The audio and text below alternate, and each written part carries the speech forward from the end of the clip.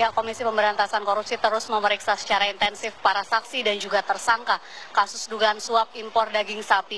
Hari ini Komisi Pemberantasan Korupsi memeriksa dua tersangka kasus suap impor daging sapi, yaitu anggota DPR yang juga mantan Presiden Partai Keadilan Sejahtera Lutfi Hasan Ishak dan uh, Direktur PT Indoguna Utama Juart Effendi.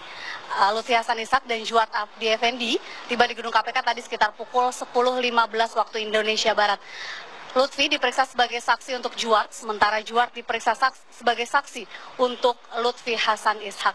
Dan tadi sesaat sebelum memasuki gedung KPK, Lutfi Hasan Ishak sempat memberikan pernyataan bahwasannya dirinya resmi mundur sebagai anggota DPR RI dari fraksi PKS sejak hari ini. Lutfi mengatakan alasan dirinya mundur sebagai anggota dewan adalah agar masa pendukungnya di daerah pemilihan Jawa Timur 5 tetap mendapatkan perhatian.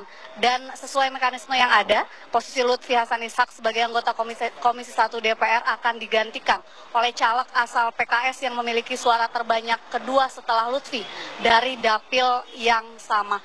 Dan sebelumnya pada hari Kamis pekan lalu Lutfi Hasan Ishak juga resmi mundur dari jabatannya sebagai Presiden Partai Keadilan Sejahtera. Setelah resmi ditetapkan sebagai tersangka dalam kasus suap impor daging sapi. Dan saat ini Lutfi Hasan Ishak ditahan di rumah tahanan militer Guntur, Jakarta Timur.